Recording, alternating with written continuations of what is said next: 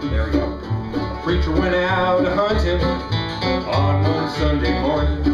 It was against his religion, so he took his gun along. He shot him a couple of very fine quail and one little measly hare.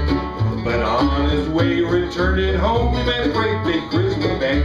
Now that bear was out in the middle of the road, looked straight at the preacher to see.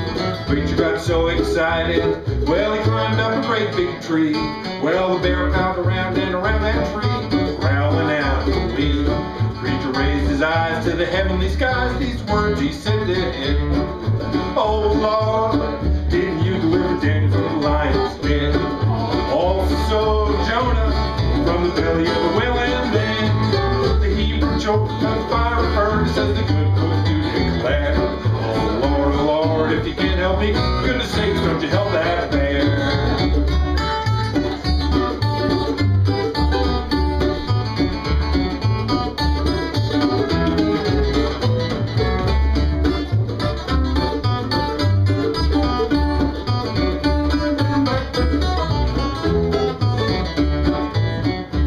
Now the preacher sat out upon that limb and it must have been a terrible sight.